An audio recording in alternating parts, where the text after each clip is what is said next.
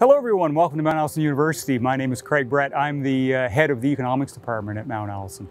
Uh, apart from econ courses, uh, there are many reasons why you might be taking uh, econ at Mount Allison. You might be in international relations, you might be in environmental studies, or in commerce. Uh, all these programs use some introductory econ courses as part of the foundation.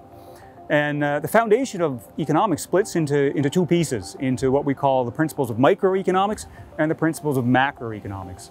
Uh, microeconomics, as the name suggests, is about the smaller things, the everyday things that, that businesses and people do in arranging their, their affairs. Whereas the um, macroeconomics is about the big things, the, the national unemployment rate, the, the Bank of Canada, these big policy questions that, uh, that crop up on the news. And uh, because they, they look at slightly different things, uh, we think it's important that people get a, get a mix of both as, the, as they go forward. Now, you may be wondering why I'm standing here uh, outside in front of a in front of a light post? Well, it's because uh, streetlights are, are one of the interesting things in econ.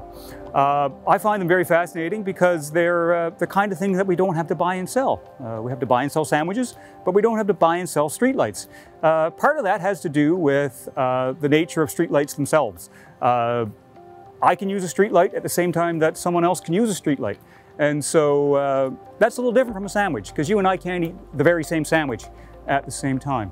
That said, not all goods that more than one person can use at a time are bought and sold.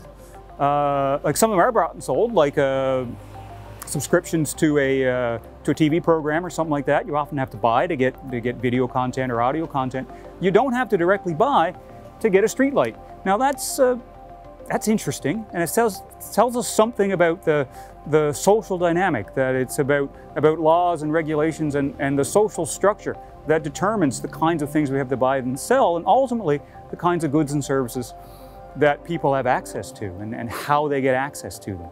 And it's for this reason that, that economics is, is squarely part of the social sciences. We're not just about technical stuff. We're not about dollars and cents. We, we're about how people go about arranging their lives with the help of those around them to do the things they want to do, to, to you know, first and foremost, keep themselves fed and clothed and housed, but after that, to do the things that keep them engaged and, and ultimately happy in this world.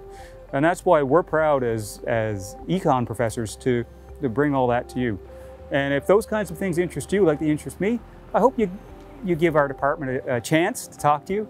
Uh, and if you can't find it in econ, at least think of some of those things as you're going through some of your other courses. Welcome to Mount A. Hope you enjoy your time here. And uh, if you ever need anything from the econ department, just give us a shout.